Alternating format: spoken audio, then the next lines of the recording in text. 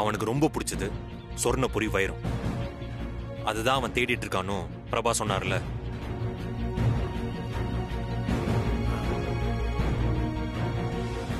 சொர்ணபுரி வைரத்தை ரகுநாத் மேத்தா கிட்ட கொடுத்தா அவன் எவ்வளவு பணம் கேட்டாலும் கொடுப்பான். சார் போலியான வைரத்தை கொடுத்து ரகுநாத் மேத்தாவை ஏமாத்த பாக்குறீங்களா? அது நடக்காது சார். அவன் வைரத்துல பயங்கரமான எக்ஸ்பர்ட் சார் ஒரு வைரத்தை பார்த்த உடனே அது வைரமா? எந்த மாதிரி வைரம்னு ஈஸியா கண்டுபிடிச்சிருவான் சார் ஆமா சார் அவரை ஏமாத்த முடியாது. நான் ஒன்றும் ரகுநாத் மேத்தாவை ஏமாத்த போறதில்ல. உண்மையான சொர்ணபுரி வைரத்தை தான் ரகுநாத் மேத்தா கிட்ட காட்ட போறோம்.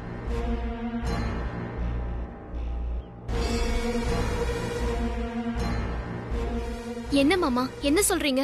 நம்ம கிட்ட இருக்கிற சொர்ணபுரி நெக்லஸை பத்தி தான் அவர்கிட்ட பேசிட்டு இருக்கேன். அது நம்ம ஆதிக்கடவுர் பரம்பரை நகையாச்சே மாமா? அந்த நகையவா விற்க போறீங்க? அந்த நெக்லஸை நான் விற்க போறதில்ல பார்வதி. பரம்பரை மானத்தை காப்பாத்த பரம்பரை நகையை வச்சு ரிஸ்க் எடுக்க போறேன். ஆதி ரிஸ்க் எடுக்க போறியா? என்ன சொல்ற நீ? சொல்றேன். நல்லா கேட்டுக்கோங்க.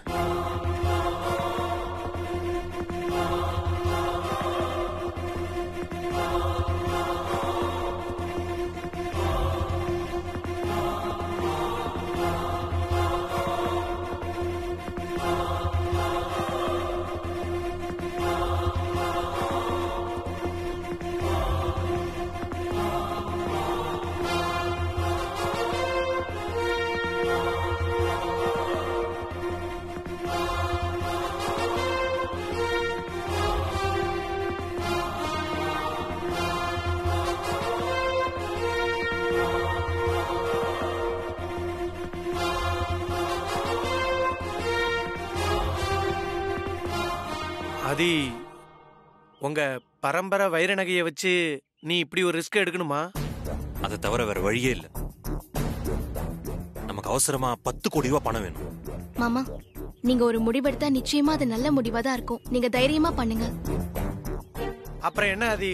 பார்வதியே சொல்லியாச்சு தைரியமா இந்த விஷயத்துல நம்ம இறங்குவோம். என்ன நடந்தாலும் ரெண்டுல ஒண்ணு பாத்துருவோம். சரி நான் இப்போ அருண் கால் பண்றேன்.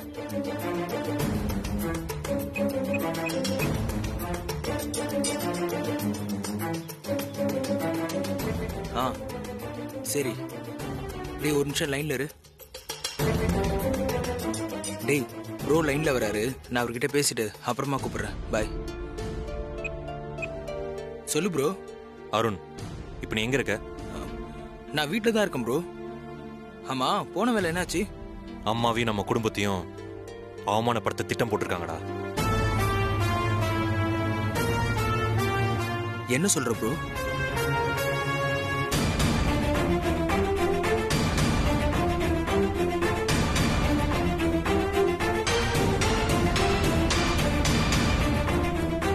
அருண்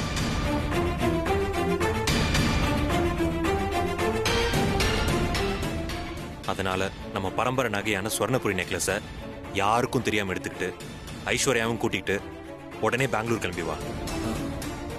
ஓகே ப்ரோ நெக்லஸ் எடுத்துக்கிட்டு நெக்ஸ்ட் ஃப்ளைட்லயே நானும் ஐஸ்வர்யாவும் கிளம்பி வந்துடுறோம். ஓகே ம் சரி ப்ரோ என்னாச்சு அருண்? சொல்றேன். அருண் அடுத்த ஃப்ளைட்டை கிளம்பி நகையோட வந்துருவான். கடவுளே மாமா செய்ய போற இந்த வேலையில எந்த பிரச்சனையும் அவருக்கு வந்துடக்கூடாது நீதான் நல்லபடியா முடிச்சு வைக்கணும். சரி வாங்க. போலாமா. எந்திரி.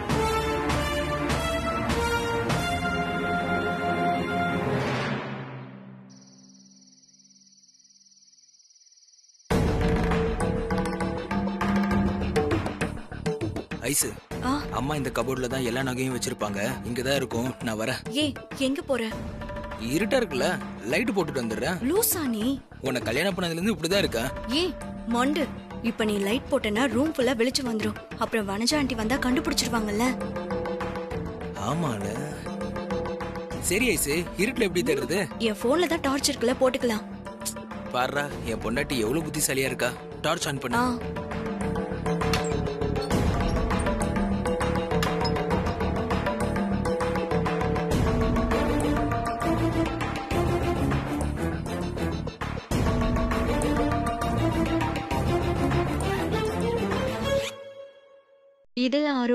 இதுல இன்னும் கொஞ்சம் பெருசா இருக்கும்.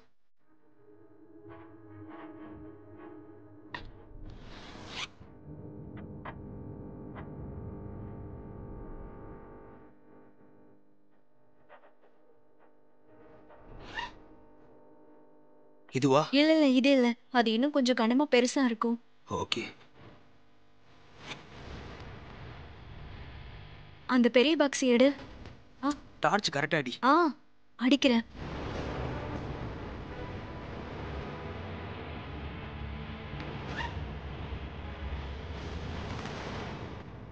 இதுவா?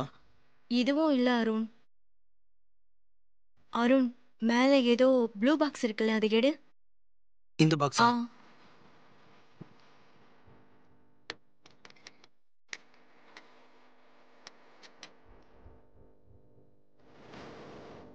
ஐசு இதுவா பாரு.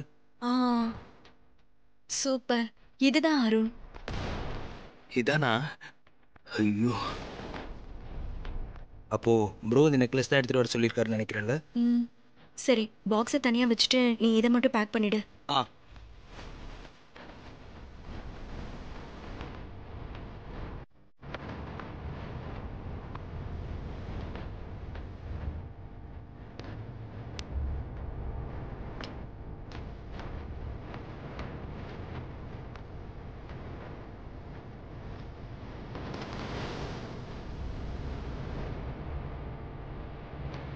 அருண் அந்த பாக்ஸ் அதுல போடு.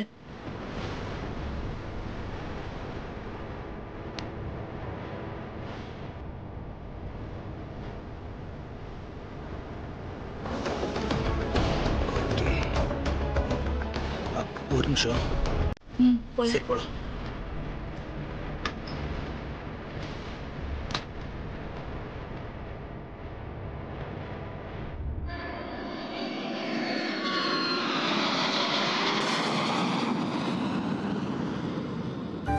மாமா.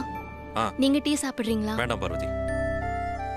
என்ன மாமா இன்னும் ஐஸ்வர்யா அம்மாவையும் சின்னையாவையும் காணும்? அருண் இப்பதானே மெசேஜ் பண்ணா தேர் ஆன் தி வே வந்துருவாங்க. வாங்க ஐஸ்வர்யா. அம்மா. வாங்க ஐஸ்வர்யா. ஹாய் ப்ரோ வாங்க சின்னையா. என்னடா இவ்வளோ அழைச்சிட்ட கிண்டலா?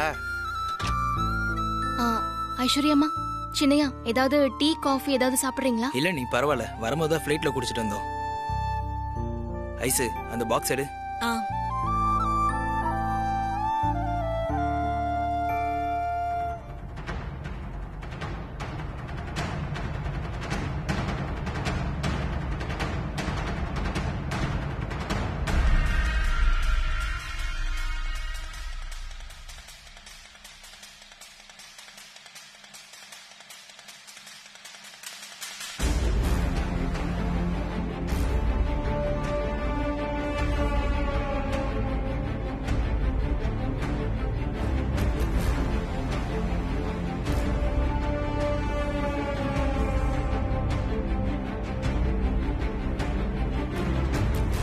இந்த ப்ரோ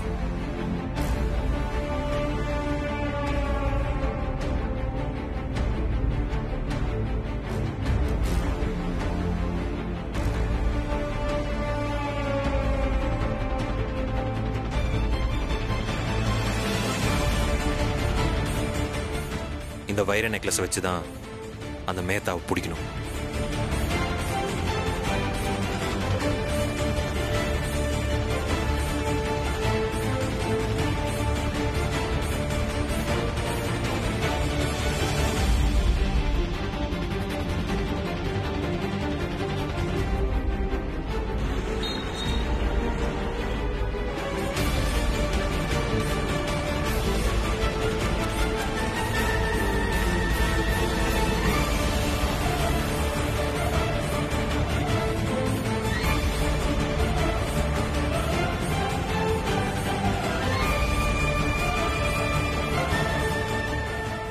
இந்த பிளானை தான் நம்ம அங்கே போய் எக்ஸிக்யூட் பண்ண போறோம். இது என்ன பிளான் மாமா? அடுத்து நாம என்ன பண்ண போறோம்? சொல்றேன்.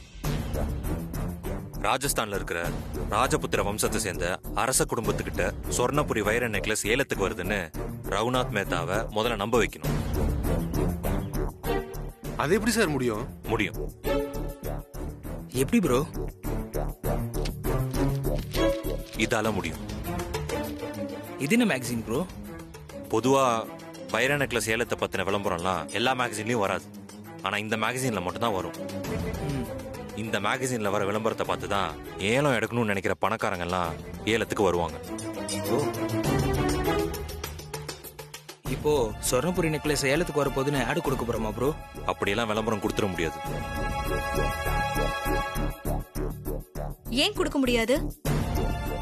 ஏலம் நடத்துற ட்ரஸ்ட்டுக்கு சொந்தமான மேகசின் இது. இதுல விளம்பரம் வரணும்னா இந்த மேகசின் நடத்துற ட்ரஸ்ட் கிட்ட முதல்ல வைர நெக்லஸ் ஒப்படைக்கணும். அந்த ட்ரஸ்ட் ஒரிஜினல் வைரம் தானே செக் பண்ணி பார்த்துட்டு அதுக்கப்புறம் தான் மேகசின்ல ஆட் கொடுப்பாங்க. நம்ம கிட்ட இருக்கிறது ஒரிஜினல் வைர நெக்லஸ் தானே? அப்புறம் என்ன? கொடுத்தா சோதிச்சு பார்த்துட்டு ஆடு கொடுக்க போறாங்க. அண்ணா சொல்றது சரிதான். அது அப்படி பண்ண முடியாது பார்வதி. அதுல சின்ன சிக்கல் இருக்கு. என்ன சிக்கல் இருக்கு ப்ரோ இந்த மேகசின்ல விளம்பரம் வந்தா நிறைய பணக்காரங்க ஏலத்துல கலந்துக்க வருவாங்க. வந்தா என்ன? இல்ல. அதுல நமக்கு ரிஸ்க் இருக்கு. ரிஸ்கா ரிஸ்கா ஏலம் எடுக்க மேத்தா மட்டும்தான் வரணும். மற்ற பணக்காரங்க யாரும் வரக்கூடாது. அது எப்படி முடியும் ஆதி? முடியும். எப்படி மாமா? சொல்றேன்.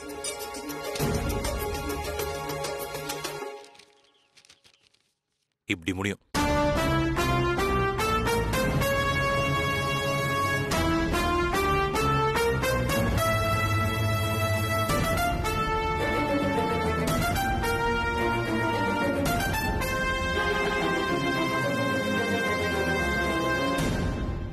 இதானா? சொர்ணபுரி நெக்லஸ் ஏலத்துக்கு வரதா இருக்கிற இந்த விளம்பரத்தை மேத்தா மட்டும்தான் பார்க்கணும். அவன் பார்த்துட்டா அவன் மட்டும்தான் ஏலத்துக்கு வருவான். ஐடியாலாம் நல்லா தான் இருக்கு. ஆனா இந்த மேகசினை மேத்தா பார்க்கணும்ல? அந்த வேலையை பிரபாகர் பார்த்துப்பாரு. சார் நானா? ஆமா. மேத்தா ஆபீஸ்ல இருக்கிற நீதான் இந்த விளம்பரத்தை எப்படியாவது மேத்தா கண்ணில் பட வைக்கணும்.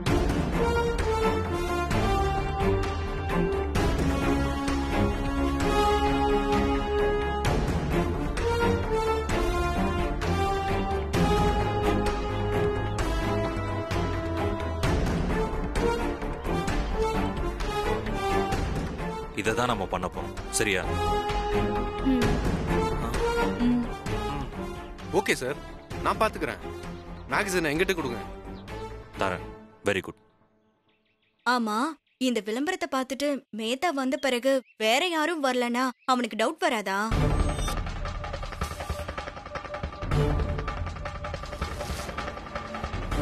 கண்டிப்பா வரும். அப்படி அவனுக்கு சந்தேகம் வராம இருக்கணும்னா நம்ம ஆளுங்களை ஏற்பாடு பண்ணணும். ஆதி நீ ஒன்றும் கவலைப்படாத. பெங்களூர்ல எனக்கு தெரிஞ்ச ஒரு நாடக கம்பெனி இருக்கு. அவங்கள்ட்ட சொல்லி நான் ஆளுங்களை ஏற்பாடு பண்ணிடுறேன். அதுக்கு நான் பொறுப்பு. ஓகே ராம். பிரபா சார்? நீங்க உடனே ஆஃபீஸ் கிளம்புங்க. போயிட்டு எனக்கு கால் பண்ணுங்க ஓகே சார்.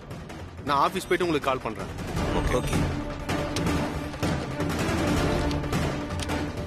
கேர்ஃபுல்லாக ஹேண்டில் பண்ணுங்க ஓகே சார். ம்? பார்த்து.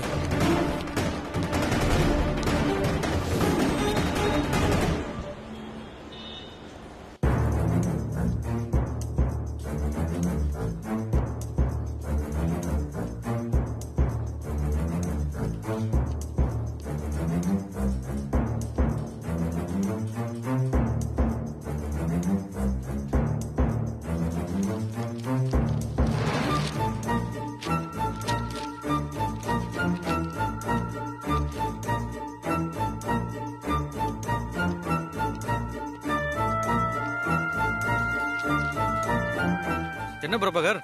ஏதோ பலமான யோசனையில இருக்கப்புல? அ, யோசனைலாம் ஒன்றும் இல்லடா. பாஸ் வந்தாச்சா? இன்னும் வரல. வர நேரம் தான். ஓ அப்படியா? சரி.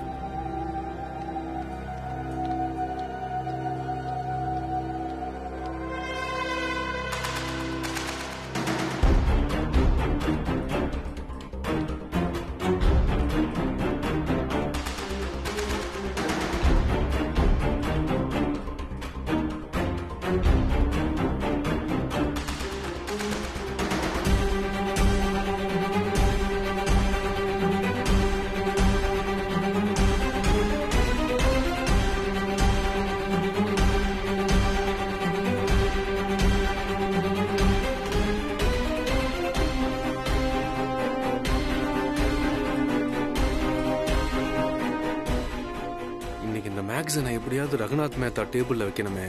அவர் பார்வையில பட்டே ஆகணும்.